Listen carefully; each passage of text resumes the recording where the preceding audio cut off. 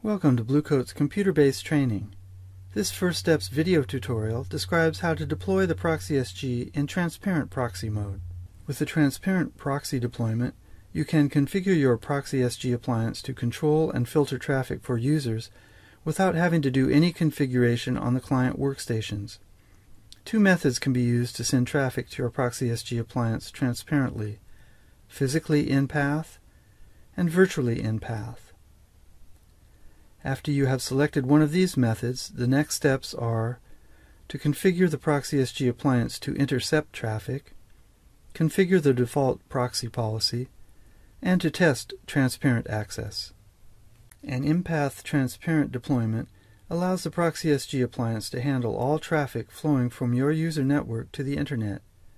All traffic flows through the appliance, but only interesting traffic is processed and subjected to policy. This deployment method places the ProxySG appliance in the physical network path between users and the Internet egress point using two bridged interfaces on the appliance. These interfaces handle traffic without redirection. For initial configuration instructions, refer to the Quick Start guide that comes with the ProxySG. For a physically in-path deployment, connect your ProxySG appliance in line between your user network and your firewall using a pair of bridged interfaces. Connect the LAN interface to a switch on your Internet network and the WAN interface to the router on your outbound network. The ProxySG will now receive all traffic directly. Next, let's look at a virtually in-path deployment.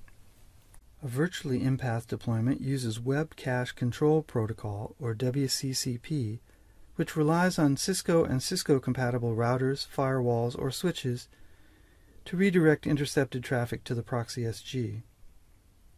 WCCP provides options for balancing load among several proxy SG appliances and is fault tolerant, sending traffic to the Internet directly should the proxy SG appliance be unable to handle requests.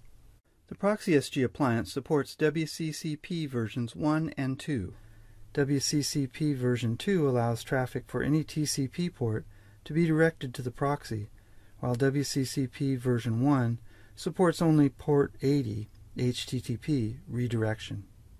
Here is an example of the connections used in a virtually in-path deployment. Next, we'll look at a simple deployment consisting of one WCCP device and a single ProxySG appliance.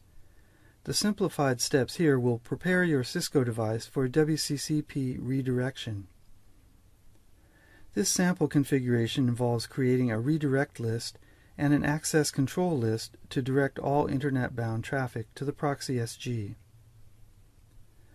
First, log on to your switch or router's command line interface using SSH or Telnet as appropriate. Identify the router interface that will be used to transmit data to and from the proxy SG appliance. This example uses interface E0. Now enter the commands shown to configure WCCP and create an associated ACL. Next, we need to configure the proxy SG to accept the traffic being sent to it by WCCP. In the Management Console, select Configuration Network WCCP, select Enable WCCP, and select New. Enter the service group you defined as an access list in the router configuration. Select an interface from the drop-down menu. Select or define the TCP ports you want the ProxySG appliance to intercept and manage. Select individual home router addresses and click Add. Enter the IP address for the router that will perform WCCP redirection. Click OK and Apply to save the configuration. Now when users request Internet resources, those requests will be sent to the ProxySG appliance. To control that traffic, you need to define the ports to intercept, which we'll do next. After configuring how your ProxySG appliance receives user traffic, either physically in path or by using WCCP redirection, you need to configure proxy services. Without the appropriate services set to intercept, that traffic will pass through the proxy without being subjected to policy. The most common ports to intercept are as shown. To configure the proxy SG to intercept traffic, in the Management Console, select Configuration, Services, Proxy Services. Under Predefined Service Groups, expand the Standard group. Locate the service you want to set to intercept. From the drop-down menu next to the service, select Intercept. In this example, the HTTPS service is set to intercept. Repeat these steps for each additional service you want to intercept and click Apply. Now that traffic is being directed to and intercepted by the appliance, it's time to consider how client requests will interact with policy. The first step is to set the default policy action. This controls traffic that does not match any rules in your policy. In the Management Console, browse to Configuration Policy Policy Options. Set the default proxy policy to Allow and click Apply.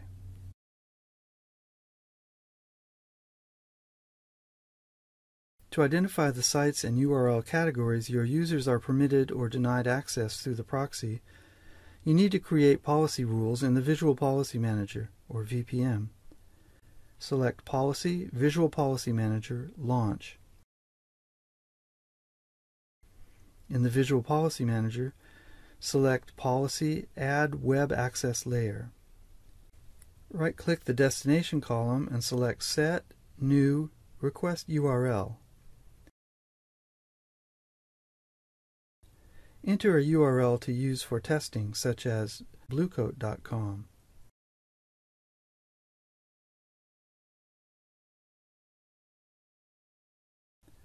Click Add, Close, and OK. Note the action in this rule. By default, it is Deny. Click Install Policy to commit this rule to your configuration. Now, from a workstation in the network, browse to google.com access is granted. From the same workstation, browse to bluecoat.com. Access is denied because of the deny rule for the bluecoat.com destination created in the VPM. This shows that the transparent proxy configuration is working properly. Visit the Bluecoat Proxy SG First Steps web guide available at BlueTouch Online to learn more about the most effective ways of deploying and using a Proxy SG appliance to secure your network. For comments or suggestions about this video tutorial, contact us at training.books at bluecoat.com.